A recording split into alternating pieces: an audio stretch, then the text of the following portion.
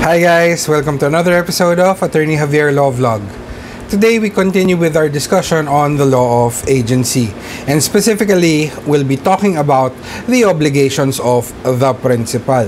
So if you like my videos and you want to see more, please hit the subscribe button.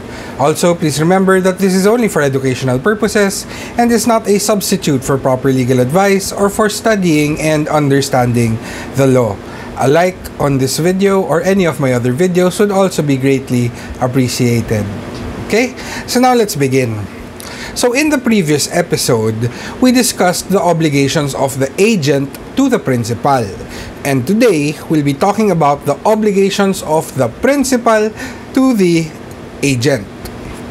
Okay, now let's begin with the first obligation of the principal to the agent, which is found under Article 1910.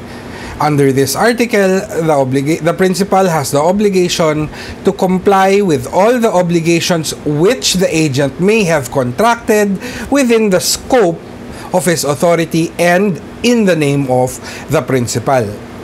Remember that the essence of agency is representation, meaning that the agent should act on behalf of the principal. and as long as the agent acts on behalf of the principal and not in his own name and also within the scope of the authority granted, then the agent will bind the principal to the obligation with the third person and now the principal must comply with such obligation. In case there is a defect in the elements, such as when the agent acts outside the scope of his authority, then the principal will not be bound unless of course he ratifies the contract in which case the principal will now have to comply with the obligation. Further, under Article 1911, even when the agent has exceeded his authority, the principal is solidarily liable with the agent if the principal allowed the agent to act as though the agent had full powers. And this is based on the theory of estoppel and its purpose of imposing solidary liability upon both the principal and the agent is in order to protect innocent third persons except of course where the agent had acted in good faith in which case he will not be liable. The next obligation of the principal is found under Article 1912.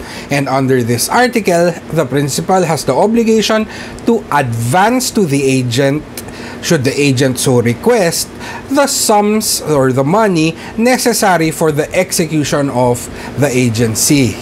As mentioned in the previous episode, under Article 1884, the agent is bound by his acceptance to carry out the agency. And by and as such, the principal is under obligation to provide the means by which to execute the agency. And if the means to execute the agency are in the form of funds or money, then it is the duty of the principal to furnish such funds to the agent upon the request of the agent. And if the principal fails to furnish such funds, then the agent will not be liable for the damage which, through his non performance, the principal may suffer. Okay? So, generally, it is the duty of the principal to advance the necessary funds for the execution of the agency. And an agent has no duty to advance such funds unless there is a stipulation that he should do so. However, remember that even if there is a stipulation saying that the agent will advance the funds, the agent will have no obligation to advance the necessary funds when the principal is insolvent. In other words, in the absence of a stipulation that the agent shall advance the funds necessary to, to carry out the agency, then these funds must be advanced by the principal should the agent so request. Which brings us to the next obligation of the principal, which is to reimburse or indemnify the agent in certain cases, as provided for in Articles 1912 and 1913. Article 1912 provides that should the agent have advanced the funds necessary for the execution of the agency, then the principal is bound to reimburse the agent. Even if the business or undertaking was not successful, provided that the agent is not at fault. Okay, meaning it was not the agent's fault why the business or undertaking was not successful. Now, what does this reimbursement include? The law says it will include interest on the sums advanced from the day on which the advance was made. So this is yet another obligation of the principal, also under 1912, to reimburse the agent for what the agent has advanced plus interest even if the business was not successful, provided that the agent was free from fault or was not at fault. 1913 on the other hand, speaks of the duty of the principal to indemnify the agent for all the damages which the execution of the agency may have caused to the agent, without fault or negligence on the part of the agent, of course. Since the principal receives the benefits of the agency, the principal should also answer for the damages resulting from the execution of the agency. Further, according to De Leon, Article 9, 1913 uh, is a logical corollary to the rule under Article 1884, which makes the agent liable to the principal for damages which the latter may suffer through the agent's non-performance or because of the agent's fraud or negligence. Therefore, in the absence of fault or negligence on the part of the agent, the principal must indemnify him Take note, however, that the liability of the principal for damages is limited only to that which the execution of the agency has caused the agent and nothing else.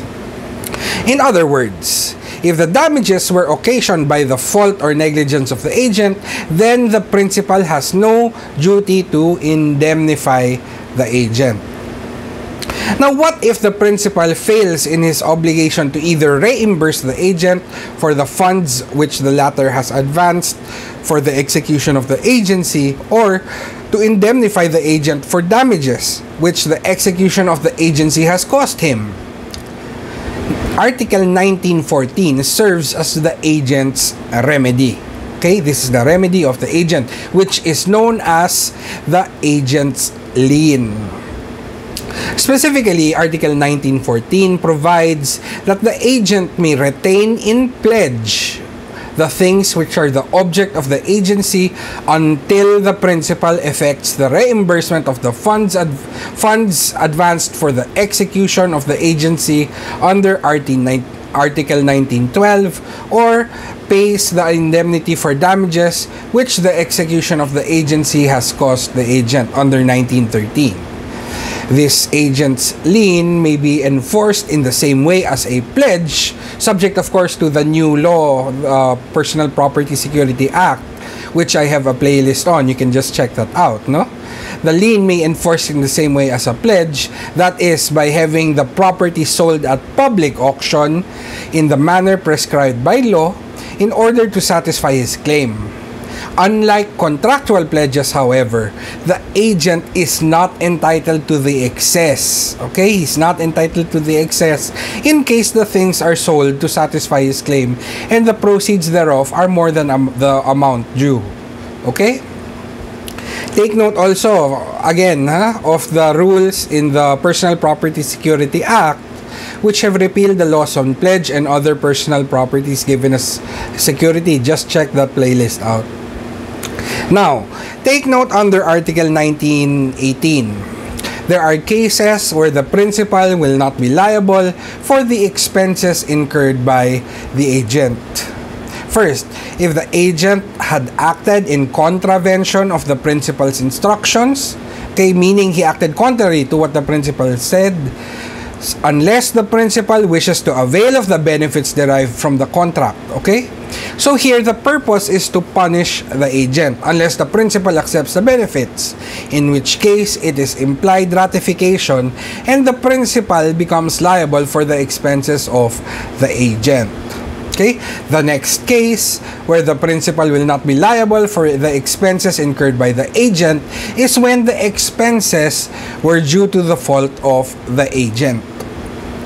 The next case is when the agent had incurred expenses with the knowledge that an unfavorable result would ensue. Okay? He knows that something unfavorable, that, that the result would be unfavorable. Okay? If the principal was not aware thereof. Here, the agent is guilty of bad faith because he already knows that an unfavorable result would ensue. Okay? He is guilty of bad faith and lack of diligence, which breaches his obligation under Article 1888 which says that an agent shall not carry out an agency if its execution would manifestly result in loss or damage to the principal. For such breach, the principal is not liable for the expenses incurred by the agent. And uh, one more case is when it was stipulated that the expenses would be borne by the agent or that the agent would be allowed only a certain sum. So those are the cases where the principal will not be liable for the expenses incurred by the agent. Now, let's talk about the principal's obligation under Article 1875, okay? Which is to pay the agent the compensation agreed upon. Or if no compensation was specified, the reasonable value of the agent's services. If you remember my discussion in the first episode, agency can be gratuitous or it can also be onerous, meaning for compensation. And under Article 1875, an agency is presumed to be for a compensation unless there is proof to the contrary. The principal must pay the agent the compensation agreed upon or the reasonable value of the agent's services if no compensation was specified, provided, of course, that the agent has performed this obligation to the principal. And when is compensation deemed earned? If there is a stipulation, then of course we follow that stipulation. The parties may agree upon the time when the compensation shall be due. Okay? But if there is no stipulation, then there is a need for either complete or at least substantial performance. Meaning that ordinarily, in the absence of an express agreement as to when compensation is to be made, the duty on the part of the agent to carry out the agency must be performed before the right to compensation accrues. Trabaho muna bago bayad or work first before payment. And in this case, the question will now become how do we know if the agency has been performed? The answer will depend on the intention of the parties. And there are two scenarios. Okay? First, if the result is not the basis for compensation but the rendition of the service itself, then proof of rendition of such service shall already entitle the agent to compensation. Example is where the agent's duty is simply to find a potential buyer for the principal's property. The fact that the agent produces such buyer is enough to entitle him to compensation, even if the principal ultimately does not enter into a contract of sale with such buyer. Second scenario, but if the result is the basis of the compensation, meaning it's dependent on uh, earning results, then the rendition of the service without achieving the desired result will not entitle the agent to compensation. So in the previous example, if the duty of the agent is not only to find a willing buyer, but to make sure the buyer enters into a sale with the principal, then the agent will only be compensated upon the creation of the sale. This discussion brings us to the doctrine of efficient procuring cause, which states that in order for an agent to be entitled to a commission, he must be the procuring cause of the sale meaning that the measures employed by the agent and the efforts the agent exerted must result in the intended contract of the principal, for example, a sale. In other words, an agent receives his commission only upon the success of the duty assigned to him. Okay, he has to succeed in what has been tasked or uh, assigned to him. Okay, conversely, If the agent's efforts are unsuccessful or there was no effort on the part of the agent, then he is not entitled to a commission. Again, in the context of a sale, in order for an agent to be entitled to a commission, he must be the procuring cause of the sale, which simply means that the measures employed by him and the efforts exerted must result in the sale. This is under the case of Ramos versus Court of Appeals. However, take note of the case of Prats versus Court of Appeals, which says that for the purpose of equity, an agent who is not the efficient procuring cause is nonetheless entitled to his commission where he, notwithstanding the expiration of his authority, meaning it lapsed na, nag-deadline na, okay? He nonetheless, the agent nonetheless took diligent steps to bring back together the parties, the principal and the buyer, such that a sale was consummated even though his authority was terminated. Okay? So he will be entitled to a commission in that case. This was re- reiterated in the case of Manotok versus Court of Appeals, where it was held that the proximate, close, and causal connection between the agent's efforts and the principal's sale of his property cannot be ignored. And so the agent was held entitled to his commission. Now, still on the topic of uh, compensation, we distinguish between a broker and an agent.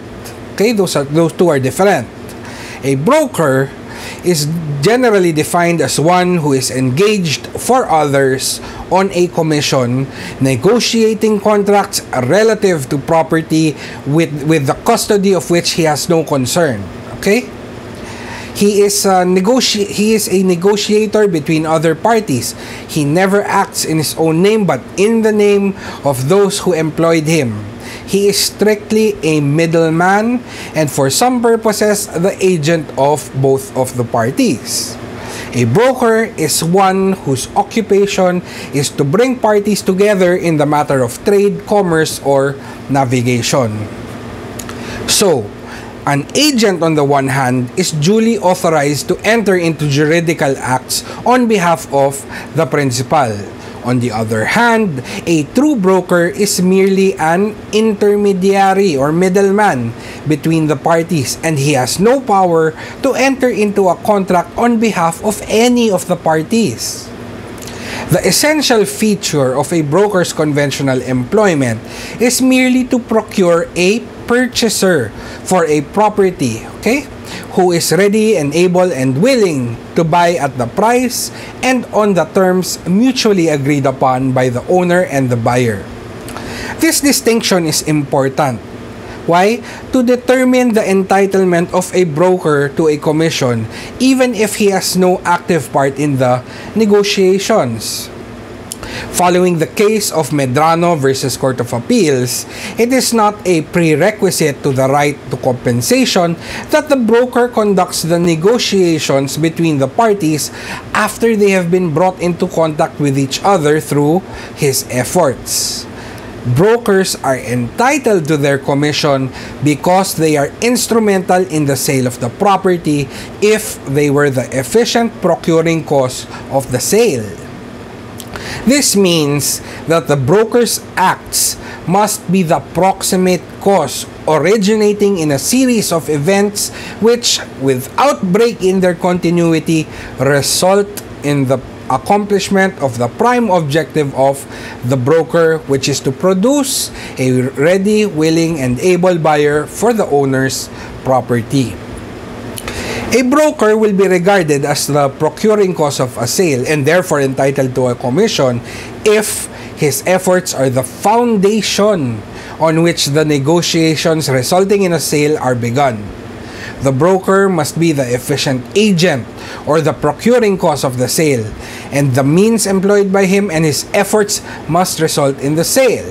He must find the buyer, and the sale must proceed from his efforts acting as a broker.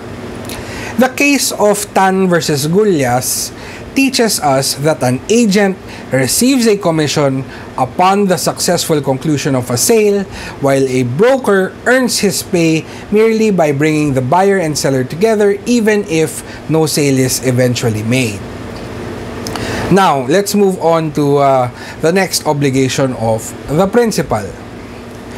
In case of uh, in, in case there are two or more principals, we follow Article 1915 which says that if two or more persons having appointed an agent for a common transaction or undertaking, then they shall be solidarily liable to the agent for all the consequences of the agency. In order for the principals to be solidarily liable, the agent must have been appointed by all of the principals for a common transaction or undertaking. In other words, the requisites are first, there are two or more principals.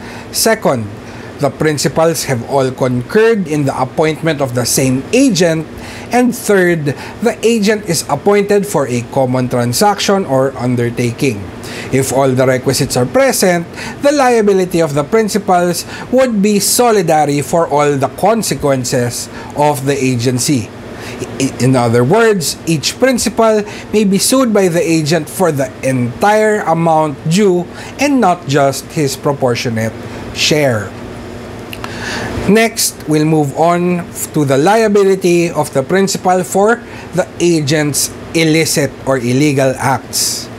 As a general rule, where the fault or the crime committed by the agent was not in the performance of an obligation of the principal, then the principal is not bound by the illicit or illegal act of the agent, even if it is not done in connection with his functions. However, there are exceptions. First, where the delict or quasi-delict was committed by the agent because of the defective instructions from the principal or due to the lack of necessary vigilance or supervision on his part, then the principal is liable for his own negligence. Second exception, when the agent secures a contract through fraud or makes a fraudulent alteration or executes a simulated contract okay or a contract which does not exist no? All of these acts are imputable to the principal as if done by him because the illicit act is inseparable from the transaction executed for for him. Third exception when the crime consists in the performance of an act which is within the powers of the agent, but becomes criminal only because of the manner in which the agent has performed it. Then the principal will be liable to third persons who act in good faith. And finally, the last topic is the liability of the principal for the tort or quasi-delict of the agent. Under the principle of vicarious liability, the principal is civilly liable to third persons for torts or quasi-delicts of an agent committed at the principal's direction or in the course and within the scope of the agent's authority. The agent is also liable with the principal and the liability is solidary. The requisites for vicarious liability are first, satisfactory evidence that the employee, in doing the act of which the tort or quasi-delict consists, was motivated in part at least by a desire to serve his principal. And second, satisfactory evidence that the act of which consists the tort or quasi-delict was not an extreme deviation from the normal conduct of such employee. And this is known as the motivation deviation test, which states that the bounds of the agent's authority are not the limits of the principal's tort liability, but rather the scope of the employment, which may or may not be within the bounds of authority. The scope of employment is much wider than the scope of authority. Okay? So that's it for our discussion on the obligations of the principal. I hope you may have picked up a thing or two and I hope to see you next time guys. See you soon. Bye.